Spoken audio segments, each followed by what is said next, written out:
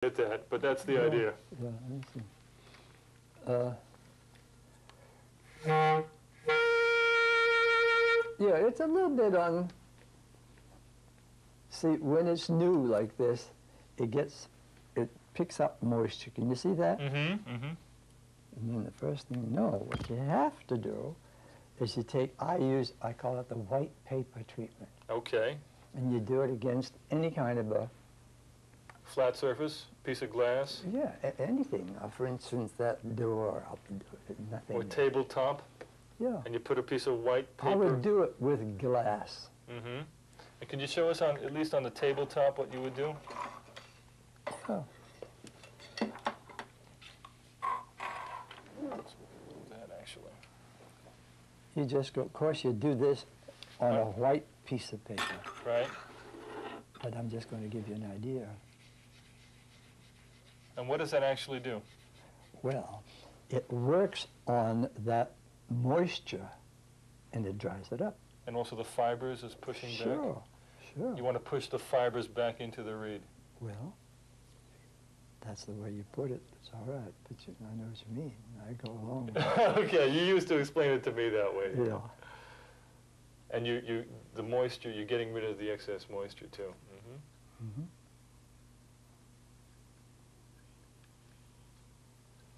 Now it should play a little bit better.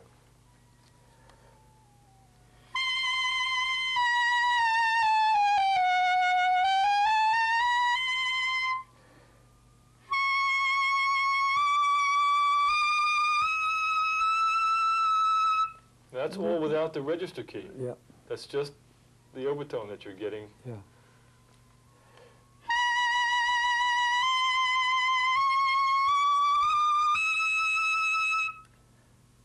High C? I don't have the perfect pitch. That's the C. You also talked about the facing, where the reed and the mouthpiece Yeah. touch. If you go too close to the edge, it'll close. That's, now if it's too far, it's hideous. It's not musical. And the other one is not musical, but it's nothing. So, here.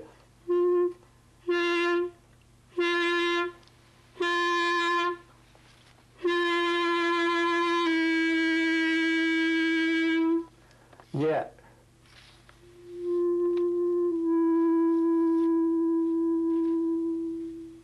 So you should be able to whisper it.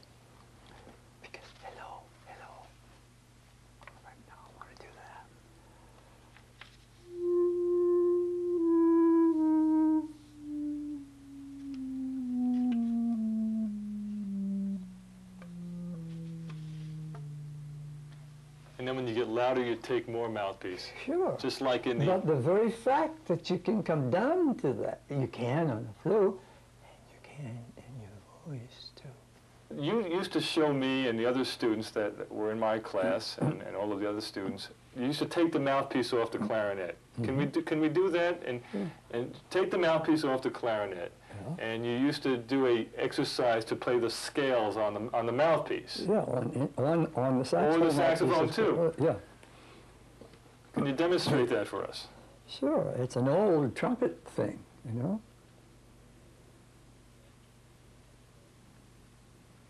You say brass, this is something that brass players use Yeah. to develop flexibility.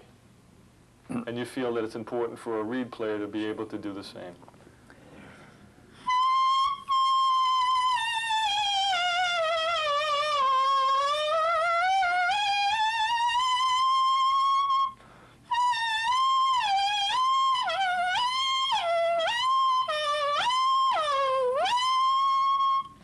Okay, if you could show us, I noticed that you're moving the mouthpiece in and out. Could you turn to the side and have the camera?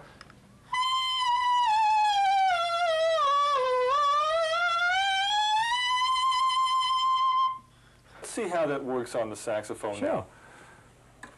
Okay.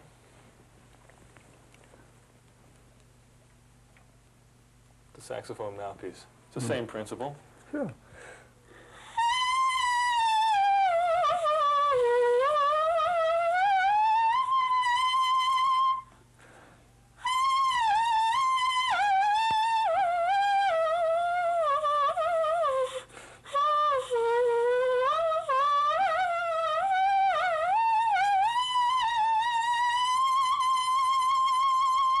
Excellent. So it gives you an idea that if you are going to play something on the horn, you have to hear before it comes out of the horn.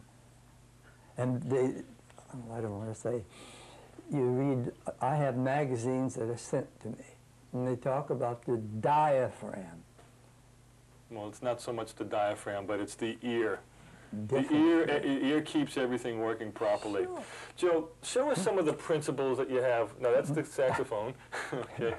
With the mouth, the talk about the the the chewing that you used to talk mm-hmm. about, and also as far as keeping your your upper lip flexible. And you know, I used to practice with my lip off the complete, like this.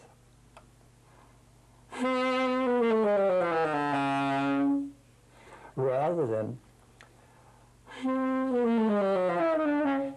That's not good. So the top teeth and lip are receiving. Right.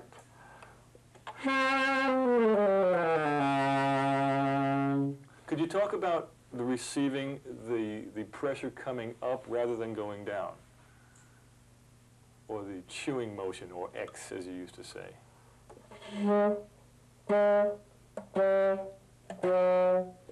I feel that my teeth are just like the hammers of the piano. All right, now The then, wood part of the hammer, yeah, and the lip is is what? the felt. The felt glued to the hammer on the piano. But what strikes it, it's the hammer. So what's our hammer? X. X. X. The lower teeth. Ba, ba, ba, teeth. Mm-hmm. That makes a lot of sense. You get the most projection that way. Sure. What would happen if you just used your lip and you didn't use your teeth? You can't. You can't do just like this. In two minutes you'd be, and you'd have a sore throat and all kinds of things. What is the exercise that you learned from the flute Well, F down, E down, E flat down. without the register key, correct? The- yeah, they don't have the register key. Could you demonstrate that for us?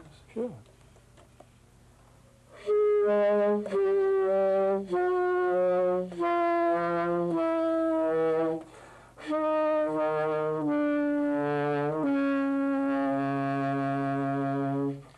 I know that you used to teach me that when you practice that way, the intensity of the higher register is, is stronger. Well, it's a question of you hear it, and then it sends a message down in here which you'll never, never know. Joe, I want to continue and make sure that our audience understands the principle of chewing or the syllable X. Mm-hmm. Would you show us more on that? So you're actually what you call chewing. Yeah.